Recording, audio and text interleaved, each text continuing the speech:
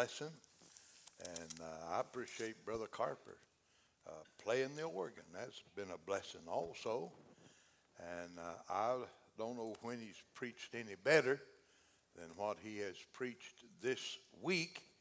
And I've not put any time on him. And he's, I feel, has the liberty of the pulpit.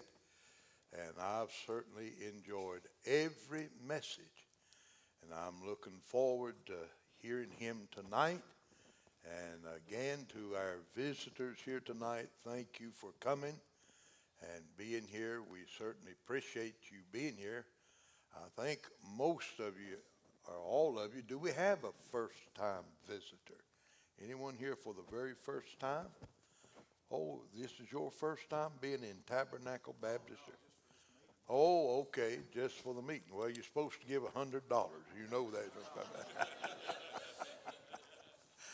I thought everybody had been here before, and these first times of the meeting, but we thank you for coming. And uh, I'm just going to get out of the way and have Brother Dr. Benny Carper come.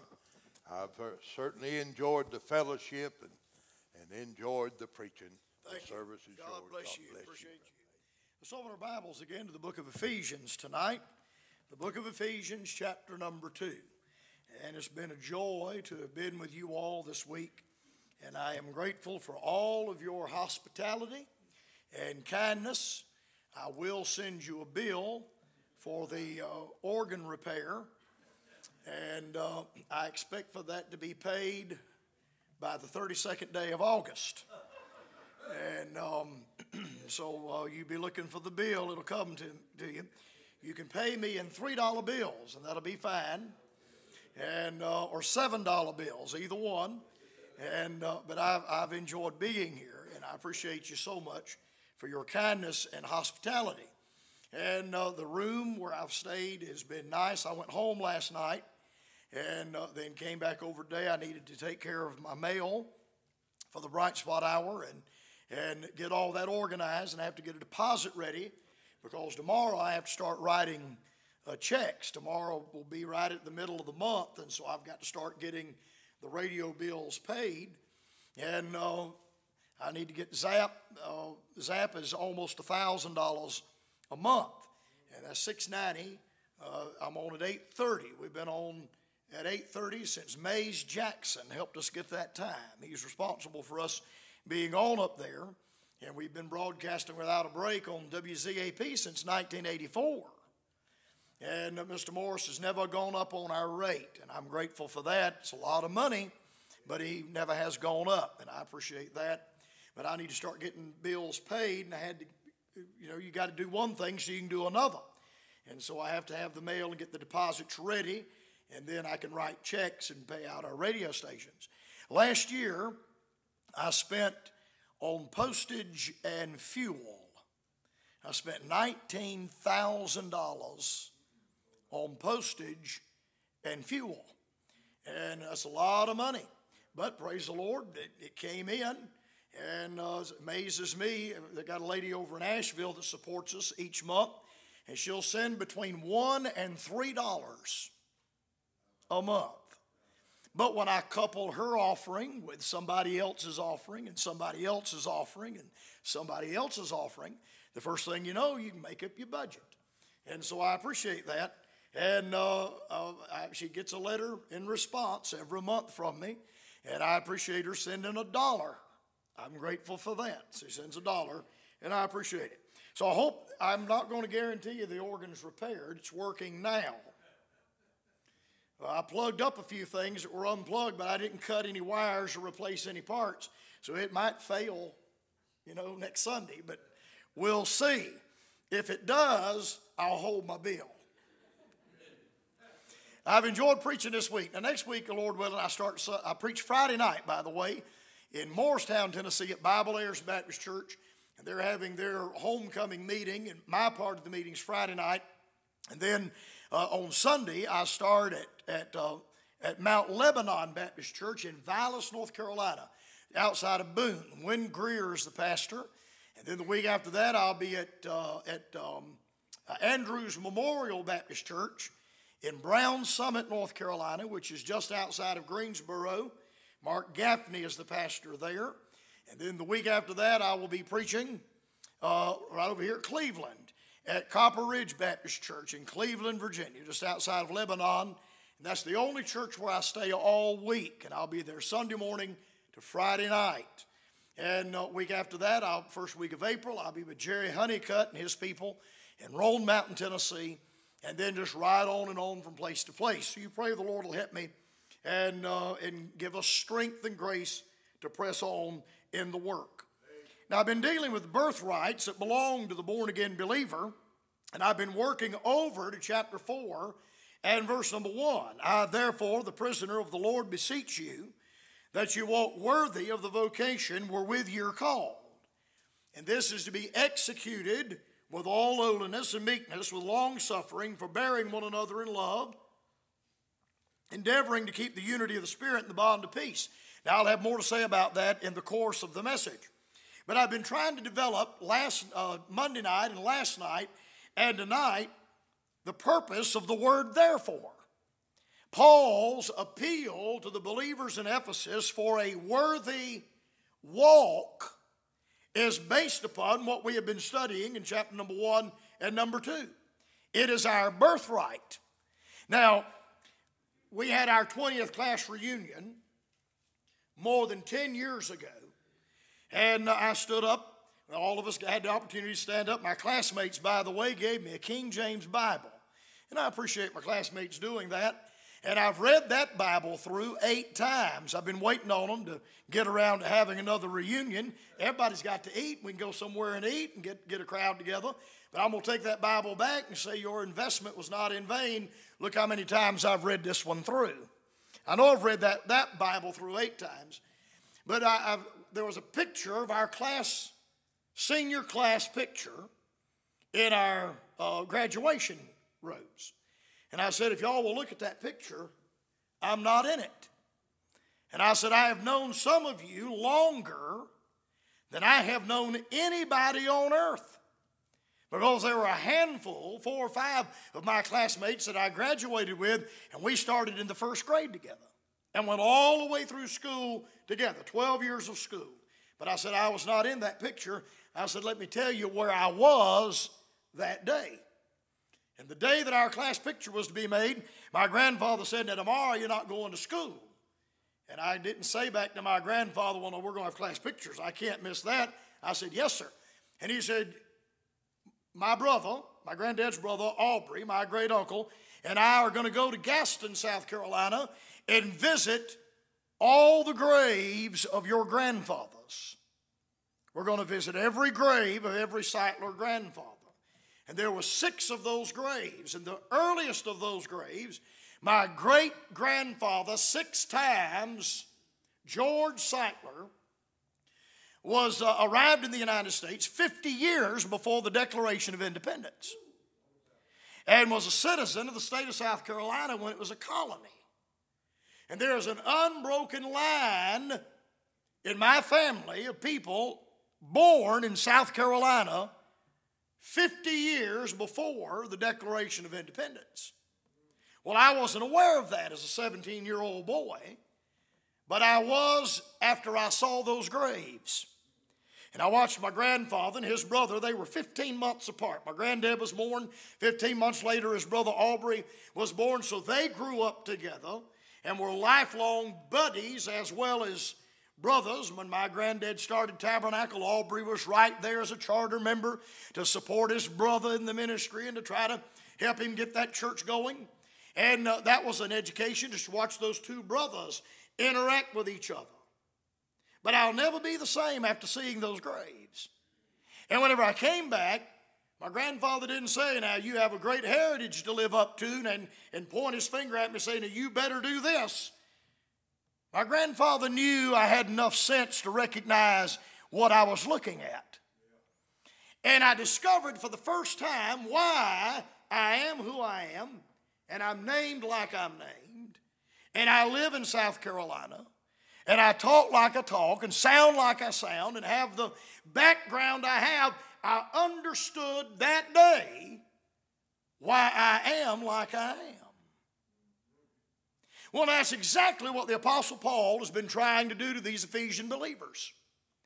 He knows if they recognize who they are and what they have in the grace of God, their birthright in the grace of God, then there won't have to be a great appeal for Christian service. All the apostle will have to say is, walk worthy of the vocation wherewith you're called. Or we could say, just live up to your birthright. After reading these verses, chapter 4, verse number 1, almost sounds like an anticlimax. It almost seems like an understatement of what Paul has been dealing with. Now, so far we've seen six of these birthrights. I am not going to repreach this, but I would like to touch on them momentarily. Verse number one, uh, three of chapter one. In uh, verse number three, the latter part of the verse, believers, number one, are blessed with all spiritual blessings in heavenly places in Christ. We operate out from our blessing, not toward it. Secondly, we were chosen in Christ before the foundation of the world. Don't let that frighten you. But in the eternal counsels of Almighty God, God had all the details of your new birth experience and mine already worked out. And when I was saved 43 years ago, I didn't catch God by surprise. God had that already worked out in His eternal counsels before Genesis 1 1. Now, I can't explain that to you. I can't explain it. But then I can't explain to you the biology of a natural birth. I don't understand how a baby breathes in his mother's womb, but it doesn't breathe air, it breathes embryonic fluid. But it breathes fluid in his mother's womb. But when it's born, a fish breathes fluid. But when the child is born, it breathes air. Now, I'm not prepared to explain that to you, but I believe it because I can see you, and that's how you got here, and you can see me, and that's how I got here. I don't understand how God, in His infinite wisdom, had all the details of our salvation worked out on the left side of Genesis 1 1. And yet, everyone that's born again has a profession of faith. That's why I'm not a fatalistic Calvinist. There, nobody on earth tonight is saved that doesn't have a profession of faith. Everybody that's saved has a point in time when you were born again. But when you were born again, God had already worked out those details out yonder, and you just met the appointment. Now, if you say that you can explain that, I don't believe you. I can't explain that, but I believe it. It's a marvelous thing of the grace of God. Then, verse number five, here's the third of these. Having predestinated us, and born again believers do not live by luck, chance, hope, uh, uh, throwing the dice. We live by predestination. God has the details of your life worked out in advance. And every one of us can look over our shoulder and see how grace has, has brought me this far. The pastor and I were talking tonight, and I appreciate uh, his confidence, and he and I had a very plain conversation, one with the other, preacher to preacher. And I look over my shoulder and things that I misunderstood 20 years ago, I now look back over the 20 years, and rather than being bitter over it, I see the providence of God. Having predestinated us. And you and I live by predestination. God has the details of your life worked out 10 years from now. You don't know the thoughts you'll be having 10 years from now because you don't know what's going to happen 10 years from now. But God already has the details worked out and you can't conceive of them. Then again, number four, verse number seven. We have redemption right now through his blood. Now, I'm, I'm waiting for the redemption of the body, but I won't be any more redeemed a thousand years from now than I am right now. And our redemption is through his blood. I'm not saved by water baptism or church membership, I'm saved by the blood of Christ. Then, number five, In verse number 11, in whom also we have obtained an inheritance. Now, every one of us are going to suffer loss at the judgment seat of Christ. Well, none of us are going to have everything we wish we could have at the judgment seat, and we're all going to say, Boy, I wish I hadn't wasted my time on that. I wish I hadn't wasted my time on that. But none of us are going to be empty handed because all of us are born into an inheritance. And you don't earn an inheritance, you are born into an inheritance. And every one of us have that in the grace of God. We have obtained an inheritance in the Lord and Savior Jesus Christ. And that inheritance is already fixed for me now. It's predestinated right now. When I get to heaven, I'll be satisfied with my inheritance. And when you get to heaven, you'll be satisfied with yours. When your family read your mother and dad's will, that is none of my business. None of my business. But you were very satisfied with your portion. And when my dad's will was read, that's none of your business. But my brother and I were very satisfied with what we received from my dad's portion of the will. Now, my inheritance is already predestinated in heaven, and your inheritance and my inheritance may not be exactly the same thing, but I promise you, you'll be satisfied with yours, and I'll be satisfied with mine. That's what my father gave me. And then, number six, in verse number 12, 13 rather, in whom you also trusted, after that you heard the word of truth, the gospel of your salvation, in whom also after that ye believed, here it is now, the sixth birthright, you were sealed with that Holy Spirit of promise. Every born again believer is indwelt by the Spirit of God.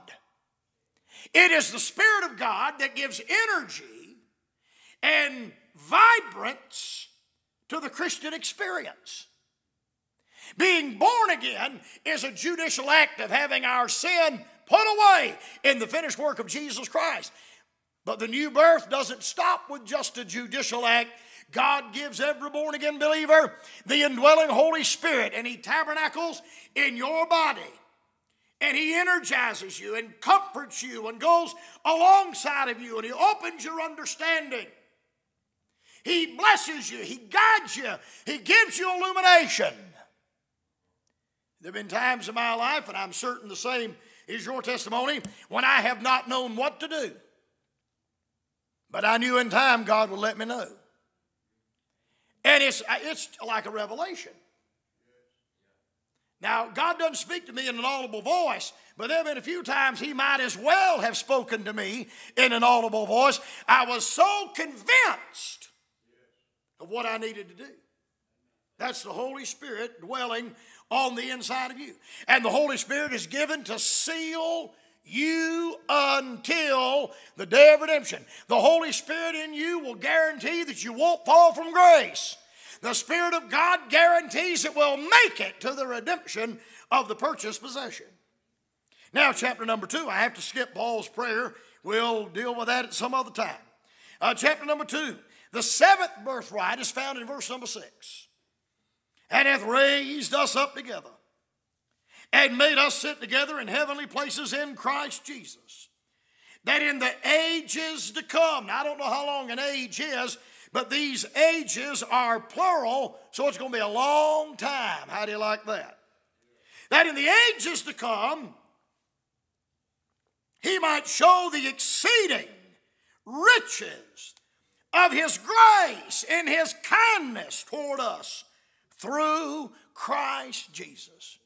Now, let me say this in passing. Every one of us are saved. Why did God save your soul anyway? Why did He save you? I didn't say, Are you saved? Why did He save you? And people say, I've heard preachers get in a big way and preach, and I'm afraid maybe I've said this before in a bit of foolishness that, uh, bless God, if God didn't want you to go to work, bless God, He'd knocked you in the head and took you to heaven when He saved you. Service is not the main purpose or the only purpose in our redemption. That would be as ridiculous as me telling my wife uh, on our wedding day, all right, baby, you belong to me now. I'm going to take you to the house. I bought you a new washer and dryer and a mop and a bucket. Now get to work. I'd have been better off to have hired a maid. Now, you women to be offended by that if, uh, if, if I said, bless God, the only reason for these women, bless God, put them to work, put them to work in the house, and you women would be offended, and rightly so, rightly so. Where does love enter into that? It's an interesting thing. My wife performs all the duties of a maid, but she's not one. She's a joint heir with me in the grace of life. That's what Paul said. These women's livers and equality movement are late getting to it. Paul got to equality 2,000 years ago. By the way, in Islam, and I don't hear these women livers uh, fussing about this, in Islam, women, a man can have four wives at a time. He can divorce a wife at any time with no grounds and she has no recourse. He just walk up to his wife and say, I divorce you. And she has no recourse. He can get rid of her and he can marry him another one.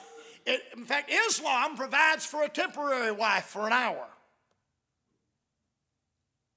If a man's traveling a distant city, he can have a temporary wife for one hour. Everybody in, everybody in here knows what that is. It's called adultery. Islam. Islam is a perfect man made religion to satisfy the lust of men. I wonder why the women's liberation movement isn't protesting against Islam, but they're protesting against Christianity. And Paul the Apostle said that wives are joint heirs. Now, can you get any more equal than that? They're not my children, they are our children. It's not my house, it's our house. And it's not my money, it's our money. Joint heirs in the grace of life. And yet they'll protest against Christians. Say, well, a bunch of fundamentalists down there in the South, they want to keep women barefoot and in the house and uneducated and ignorant. That crowd, that crowd doesn't know what they're talking about.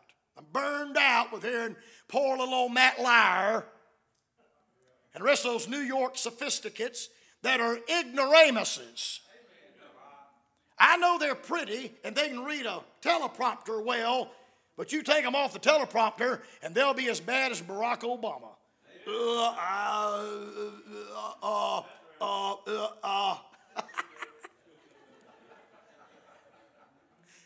you know, they say taking drugs, you know, a mind is a terrible thing to waste. Just look in the Oval Office.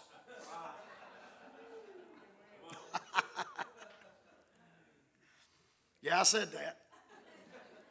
Don't send this to Washington now. Now, why'd God save you? God saved you to magnify His glory, to the praise of the glory of His grace. He saved you to magnify the grace of God. Our service is a result of our appreciation and loving regard for the fact that we've been saved. It's a marvelous thing. And whenever you see Christianity like that, it makes service a joy rather than a drudgery. All right, now notice the context here quickly hath raised us up together. In verse number one, and you hath he quickened who were dead in trespasses and in sins. That's where I was. I was born dead, spiritually dead. I could honestly buy a billboard. I, I, wouldn't do this. I could buy a billboard in every city where I hold revival, put my picture up there, and put in big letters Come hear this man. He was born dead. That'd be a true statement but not like they would take it. I was born dead in trespasses and in sins. Now it gets worse. Watch this. Where in time past you walked according, there's one of those 16 accordings again, according to the course of this world. The world is on a definite course. And we're not going to change it. The moral majority is not going to change it. The, Amer- the American Family Association is not going to change it. We are on a collision course with this world. And we are praying to pull and pluck a few brands from the burning as this world on its course goes headlong to hell, we try to pull a few out. But we're not going to set up the kingdom, fellows. Jesus is going to come back and set up the kingdom. Evil men and seducers are not going to get better and better, they're going to wax worse and worse. And as you and I try to live to the glory of Christ and follow the scriptures, we are on a head on collision course with the world. So we walked in time past according to the course of this world. Then again, according to the prince of the power of the air, that is the devil. Now, watch this next clause. The spirit that now worketh in the children of disobedience. This world not only has a course, it has a spirit. And there is a spirit of the world. There are people in this county that are demon possessed. They are as full of the devil as you are full of the Lord. They are filled up with the adversary of the devil. In my mind, only a demon possessed doctor could perform an abortion. Only a demon possessed individual could demand that babies die and murderers go free. You ask these people protesting whenever a murderer is getting ready to be put to death. In South Carolina, we would, whenever we had somebody getting ready to go to death row, we used to electrocute them. Of course, that's not humane now, so we give them a lethal injection. But 30 years ago, in law enforcement circles, they'd uh, kiddies just say, well, they're going to dim the lights tonight in Columbia. Going to shoot a little electricity over an electric chair. Fella killed a bunch of people and slaughtered them, butchered them up.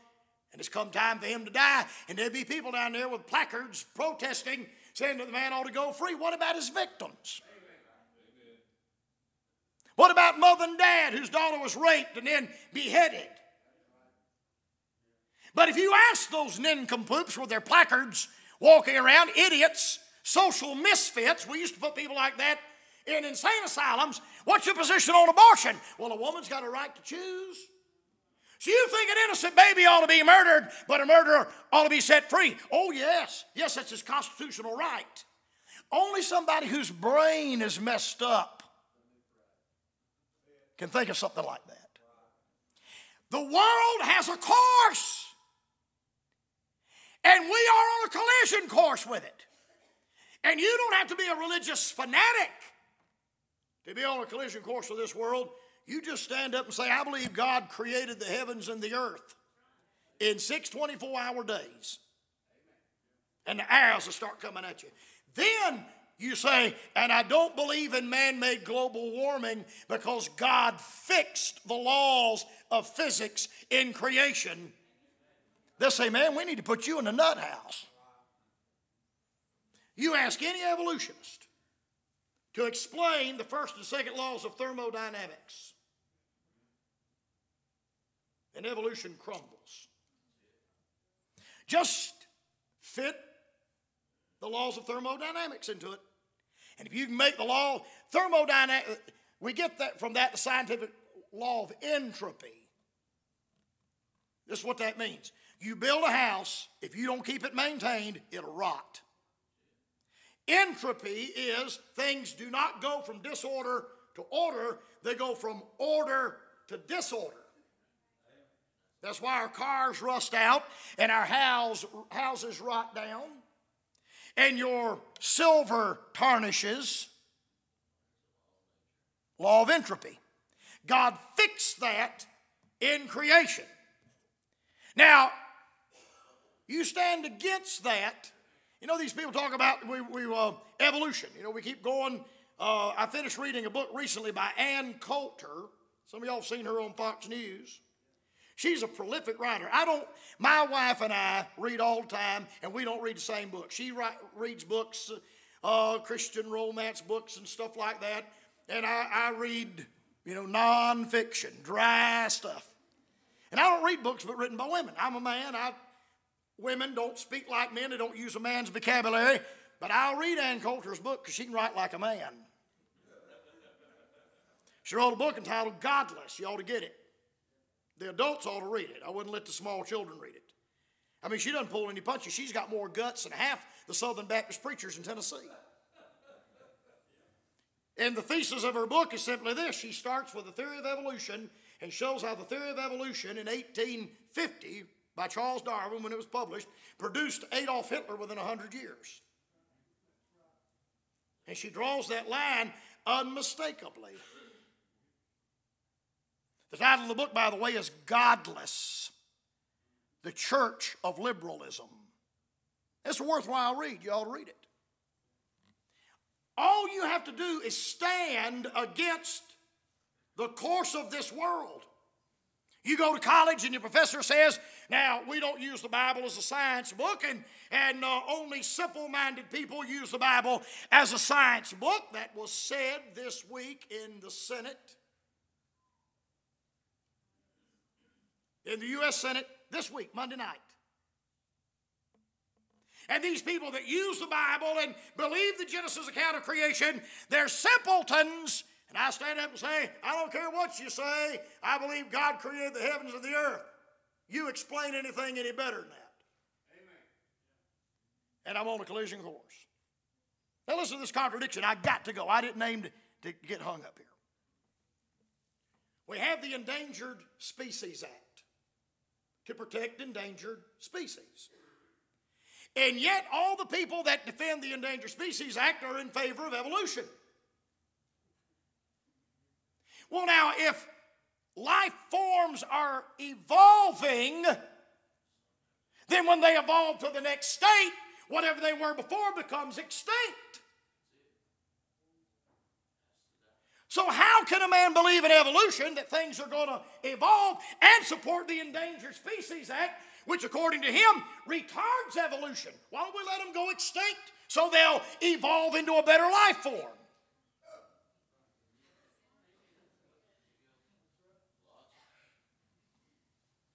I'm not supposed to ask that question. That's the course the world is on. And they call me a simple Simon a simple Simon is somebody that believes in evolution over here and the Endangered Species Act over there. That's a self contradiction. But if I say anything about it, they'll call me a religious fanatic, and some of this crowd is sick of IRS on me. We are, we're going to have a head on collision with them. I don't think you ought to pick any fights. But with God's grace and help, we're not going to run from them. We're going to draw our position based on the Bible, and they can get over it. Y'all do what y'all need to do, but I'm going to stand on the King James Bible.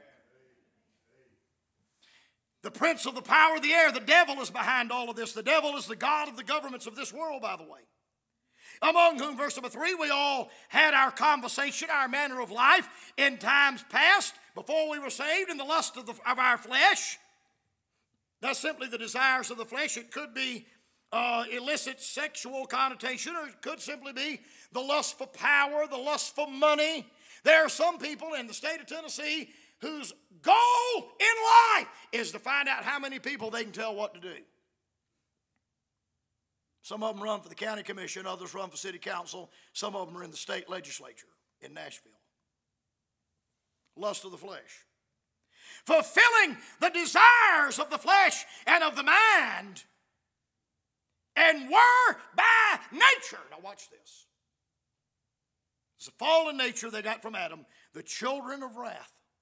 Notice they're not called sons of God, they're not, they're children of wrath, even as others. I, I get really get offended now. I get offended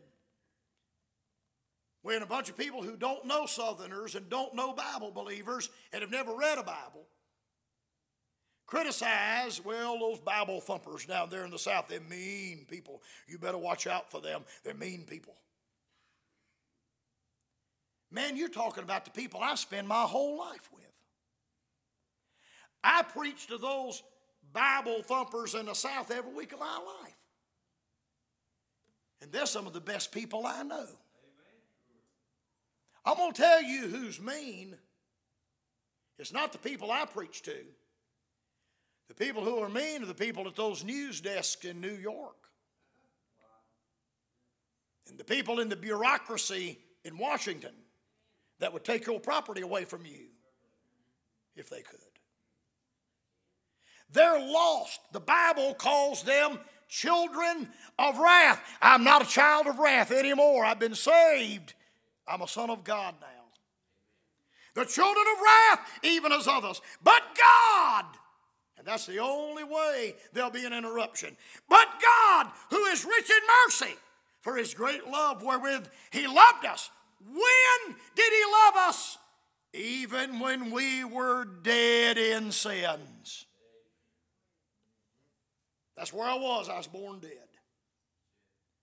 But I've been saved from the guttermost to the uttermost. I was dead in sins, but when I was dead in sins, the grace of God quickened us together with Christ by grace. Ye are saved. And when God saved us, He took us out of that graveyard where we were dead in trespasses and in sins, and hath raised us up together and made us sit together in heavenly places in Christ. Did you know that you, as a born again believer, are already seated in heaven? God has already seen you there because you are in His Son, and His Son and our Savior seated on the Father's right hand. And if I'm in Christ and Christ is in me and Christ is on the Father's right hand, I'm there with Christ now. So I've been saved from the guttermost. That's wonderful. All right, let me give you these other three. Look over with me, please, at verse 12. That at that time you were without Christ. Oh, what a miserable condition that is. Being aliens from the commonwealth of Israel and strangers from the covenants promised, God made no covenants or promises to the Gentiles. He made all of them to the Jews. We were on the outside, fellas, having no hope. There wasn't a thing in the world I could do about it in the energy of the flesh. And without God in the world, can you imagine being without God now? Hey, some of us have been saved so long, it's hard for us to remember what it was like to be lost. Some of these young people, my children were saved as children. My wife was saved at nine years old. Jack Greene, Oliver Greene's brother, was preaching revival the night my wife got saved. And some of these young people have been saved since they were five or six. They have no recollection of life without God. We are without God in the world. Here's the eighth birthright. Verse 13. But now, in Christ, that's where we are now, in Christ Jesus, ye who sometimes were far off are made nigh. How do you like that? Made nigh by the blood of Christ. I'm not on the outside looking in, I'm on the inside. Then look at the ninth birthright, down in verse number 17. And came and preached peace to you which were far off and to them that were nigh. For, here it is now, for through him we both, that's Jew and Gentile, have access by one Spirit unto the Father. Every born again believer, now listen to me, everybody listen to me. Every one of you that are saved have access to God right now. You have access right now. And our access is through Christ. Now, if I didn't believe that, what would be the purpose of praying? Why should you pray if you can't get through? And you can get through. I've heard preachers say, Bless God, if you're not right with God, God won't hear and answer your prayer. How am I supposed to get right with God if God won't hear me when I'm not right with God? If I have a fuss with my wife and I love my wife, I've never raised my voice to my wife. She's never raised her voice to me. But I'm not a fool either. Y'all aren't. You don't put two people in the same house and them not get ill at each other.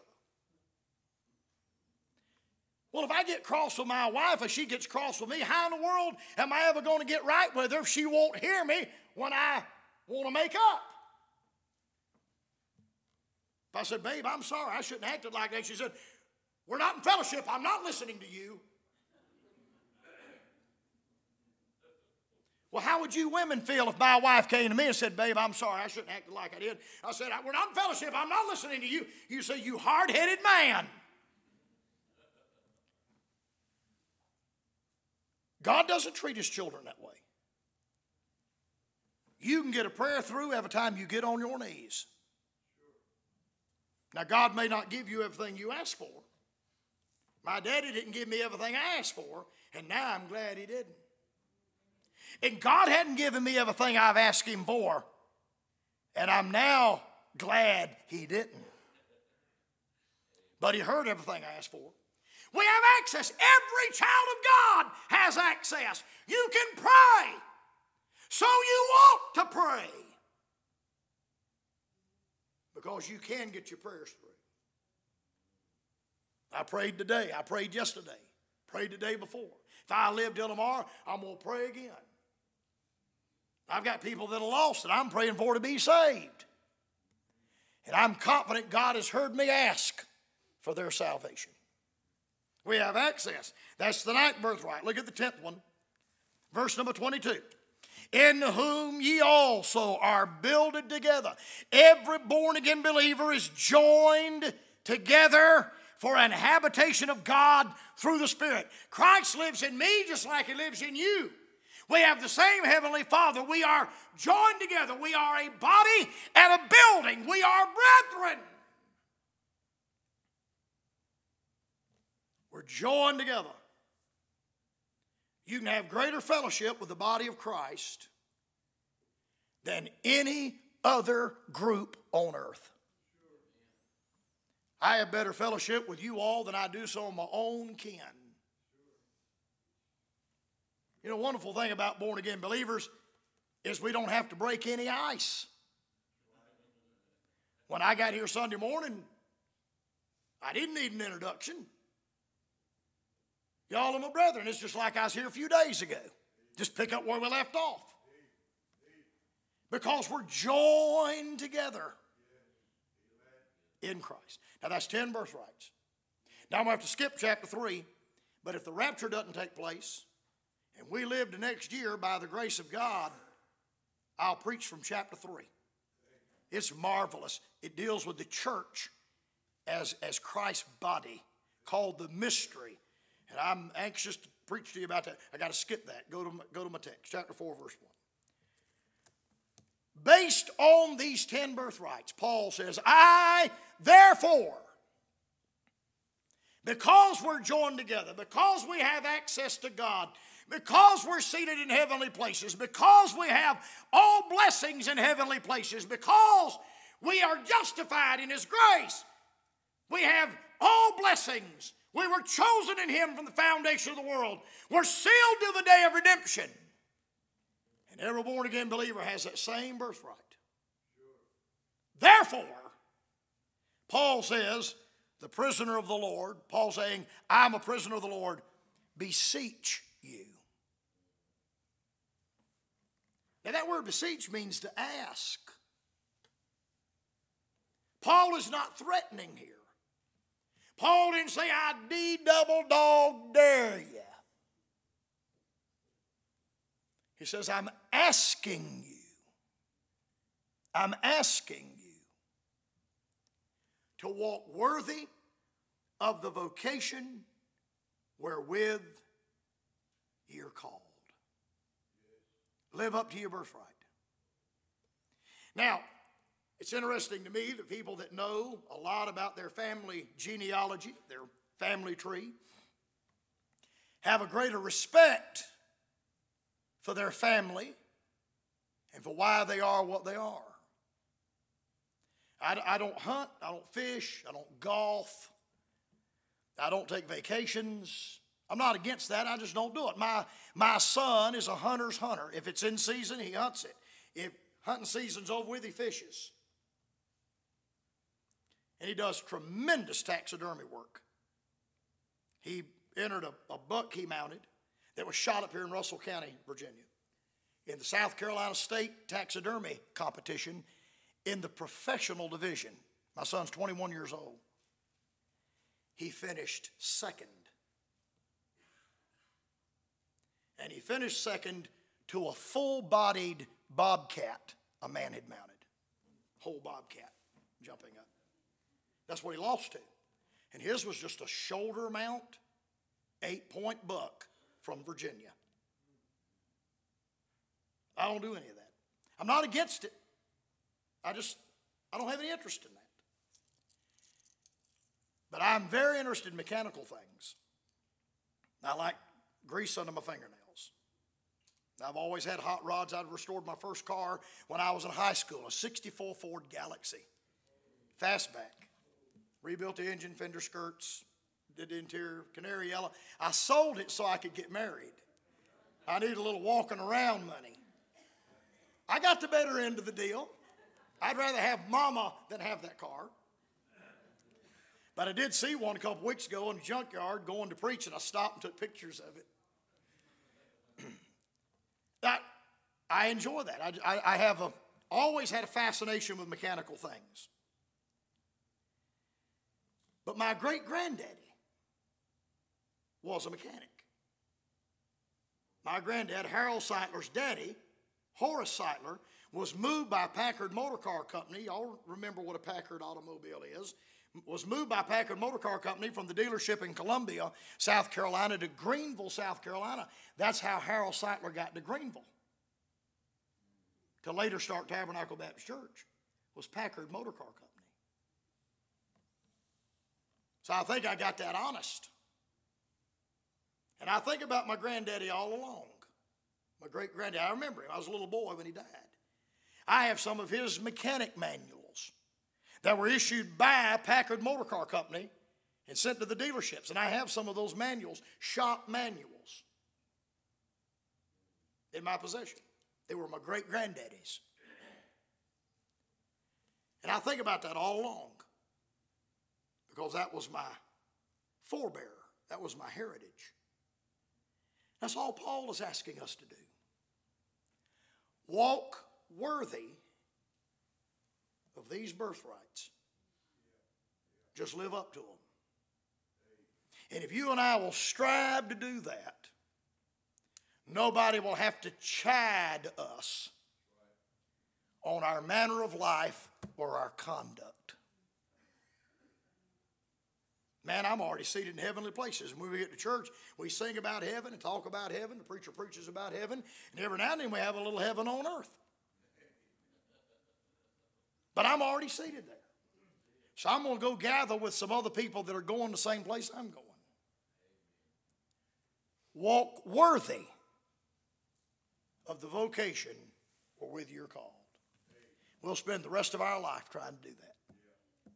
But may God help us May God add his blessing to this reading of the word this week. Let's stand together, please. Our Father, we thank thee now for the Lord Jesus Christ, who gave himself for our trespasses, died to put our sin away.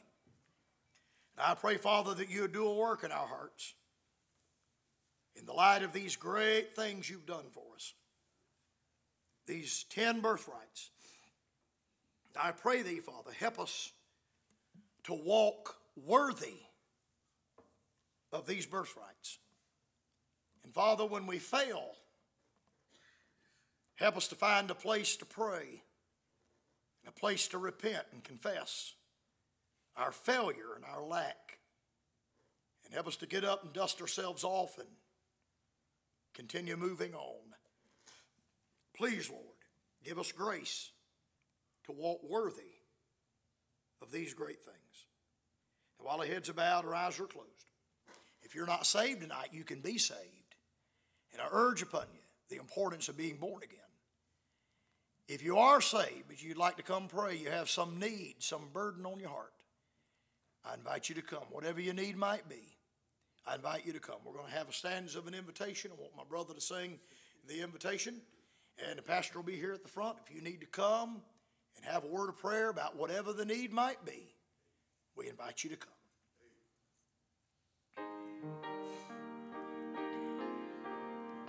Come on now, if you need to come pray, come on.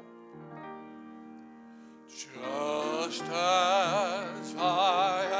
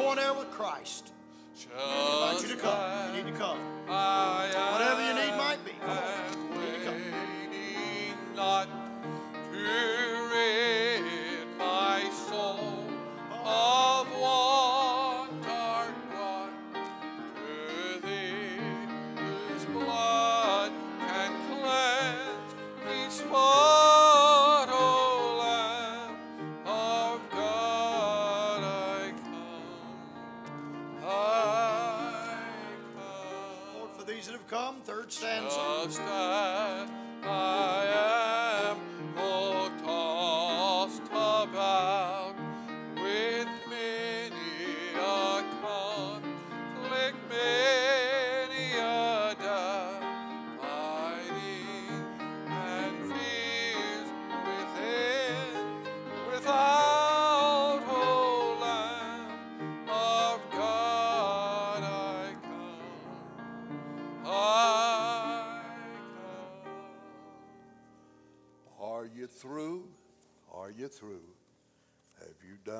You wished you would have done if the Lord would come?